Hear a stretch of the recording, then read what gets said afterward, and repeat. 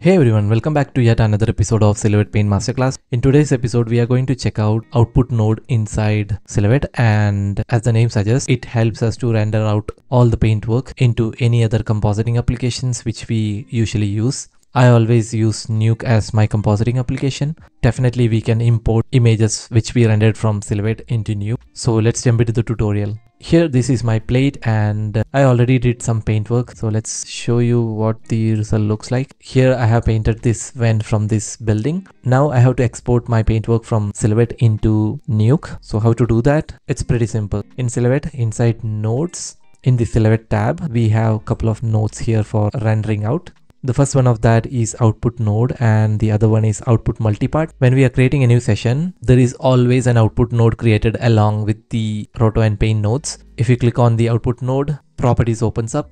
At first, we have an option to choose the file format. Uh, we have lots of options here, but I believe the mostly used option by everyone will be OpenEXR. Up next, we have compression option, which helps us to compress the file size. Usually I keeps this as zip, which is the default option some people tend to use DWAA and DWAB because it is light in size. Uh, let's keep this as zip as of now. We have an option for automatic data window. Let me explain what is this. If you did some paintwork in this footage and uh, there is an alpha for that, you can use that alpha to crop the paintwork while rendering. This just acts like auto crop inside Nuke. So if you prefer to render that way, you can turn this option on. Next we have an option where we can choose the right folder structure and also type in the right file name. Click on this icon here. This is the folder where I'm gonna render my output. Here I can type in name of the file. In my case it's render Mostly you have to follow the pipeline structure in your company or in your workflow. After that dot 4 hash for the frame padding and also I like to type in the file extension as well. After that just click on save button. As soon as you do that you can see the folder structure here and the file name. You can see the entire thing written over here inside the sample window including the file extension as well.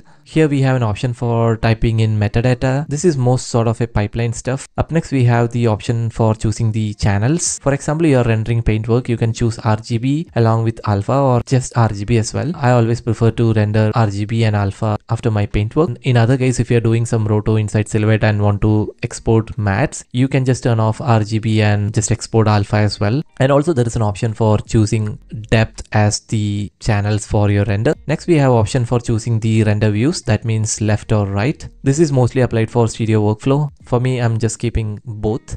We have an option for pre-multiply. If you have an RGB channel along with alpha in your paint workflow, you can pre-multiply as RGBA inside Silhouette as well. You don't need to do that separately in any other applications. Simply do that if you wish. Already explained what this sample window is. Just a description of the entire folder structure and the file name and file extension as well. Finally, if you are done with all these settings, you can click on render option. Before that, there is an option for resetting all this. Click on render. In this pop-up, there are a few settings which will help you to customize the range and size of the render which you're going to do. First, we have an option where we can choose which output node has to be rendered. That means if I'm keeping all output nodes, all the output nodes in this specific session will be rendered. But if I'm keeping selected output nodes, you can select individual output node and that will be rendered. By default, it is selected output nodes. Here we have work range. That means if you want to specifically render the range which you're working, you can choose work range. Also, there is an option for rendering all the frames and current frame, custom frame as well, where you can type in the specific frames which you worked. I'm keeping this as work range. This option will be automatically filled according to the range of work which you choose here. For me, I choose uh, work range and my work range starts from frame 1 to frame 100 frame 1 is automatically typed in over here. Next we have an option for field handling. This is mostly used when you're working on NTSC or PAL footages. I'm keeping this as none because I'm not working in that way. If you keep this as interlace, you have an option to choose which type of field dominance you need for interlacing. I'm keeping this as none. So that's why this option is disabled here.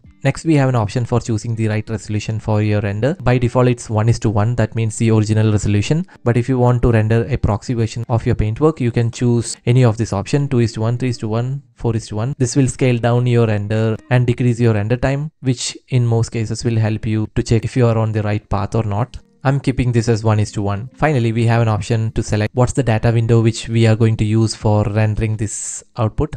There is session, ROI and DOD. Session is the session settings, that's the original footage resolution. ROI is region of interest and DOD is the domain of definition if I am right. And there are specific tutorials in my channel for rendering ROI and DOD. Please refer to that. Mostly this will be used if you have overscan in your footage or if you're making a large clean plate larger than the original resolution. In my case, it's session here and you can click on preview and validate as this helps to preview your work while it's being rendered. Once you're okay with all the settings, you can simply click on cancel if you wish to cancel this render. Also, there is an option to save these specific settings. You can simply click on apply button or if you are okay with all the settings, you can simply click on render. That's it rendering is going on and all our works are getting exported as EXR files. Let's cancel this now and I just want to show you one more thing. Cool. So in my paint node, if you see here, we have an option where we can connect output node as output image and there is also an option called paint only. This is my favorite option for rendering. Uh, I'm going to connect my output pipe into the paint only option in the paint node, keeping all the settings as before. Here, instead of clicking on render button, I'm using the shortcut that is control R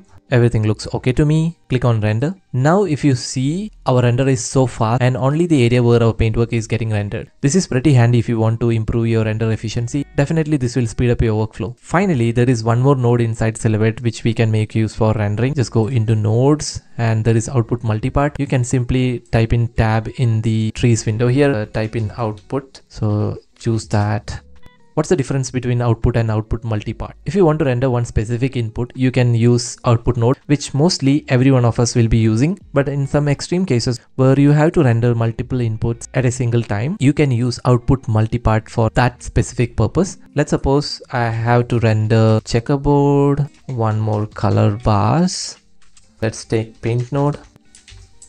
I'm gonna connect that into color bars checkerboard as well. So here I have three input source and three paint node. That means I did work on three different plates and I have to render all my work at a single time. In such situations, you can use output multipart. You can connect input one to paint node, input 2 to checkerboard and the next pipe into the color bars. Let's suppose if you're rendering from here and taking that into Nuke, if you go inside the layer, you have access for all your paintworks on all the different plates which you worked in Silhouette inside the same render, which is pretty awesome. You don't have to render multiple outputs in multiple folders with different file names and all. You can do that once with a single node output multipart. I have made a detailed tutorial about output multipart few years back. It's an old tutorial but definitely very informative. If you're not not able to find that, please comment it down. I will reply you with the link. Yep, so this is all about rendering from Silhouette. And like always, if you feel like this tutorial is informative, please hit that like button and share this with your colleagues who already learned how to paint inside Silhouette and looking for ways to render that out. Till the next tutorial, it's Manu signing off. Thank you for watching.